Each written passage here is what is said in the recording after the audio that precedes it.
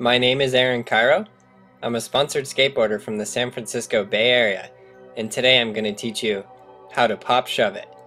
Now the first thing to this trick is making sure you're feeling really comfortable on your board, just riding around and pushing. I want you to have done this a lot so you feel really comfortable.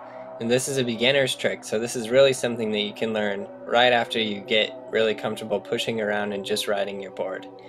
One thing that might help you for this and any other flat ground trick that you're going to learn is putting your back wheels into a nice crack. A nice crack that holds your wheels tight so your board doesn't roll as you work on it. Now the next thing is the foot placement. Notice my right foot, it's just down from those two bolts. It's at a little bit of an angle, just kind of like a kickflip would be. And my left foot is on the tail, and I really want you to notice how my toe is off the side of it. The toe hanging off the side is very important to getting a really nice scoop of the board. So the foot position on this particular trick is very important and that is what it is right there. Now, the next step is really how you're going to do that motion of your back foot. Notice how my foot curls under and my foot kicks straight back. On this particular shove it, the board does not pop. It just goes straight back. It's just a shove it. It's not yet a pop shove it.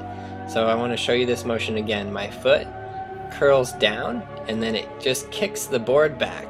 My front foot stays on the board the entire time, just guiding it as it goes around. As you can see there, it barely even moves. It just comes up off the board a little bit and the back foot does really all the work. I want you to really get the importance of the foot placement and the scoop of your back foot. It's called a scoop because your toe curls underneath like to the side of the board and then you kick it back. It's just the most appropriate word to describe it, I guess, because it's not really a sweep, but it's more of a scoop. Practice this a lot because it's going to help you later. Now the next thing is putting the pop into the shove it to make it a full pop shove it. This is really the exact same thing, but only this time you're going to pop your board off the ground.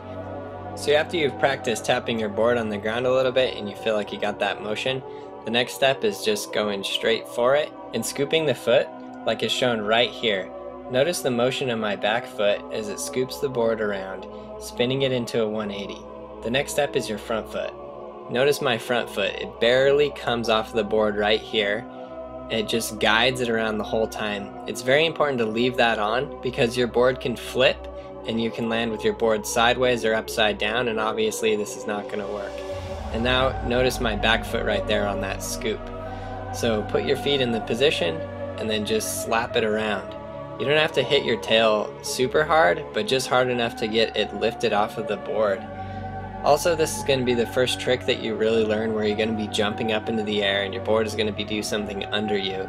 This is going to help you to learn kick flips later, 360 flips, and many other tricks, so definitely practice this one a lot and get it really down. Feel free to leave me a comment asking for help on this or any other trick, but what I really want you guys to do is video your best attempt upload it to your own YouTube, and then send me the link so I can really see what you're doing and help you out with it that way. Don't forget to subscribe, check out all these other videos, and please help me out by sharing these with all of your friends.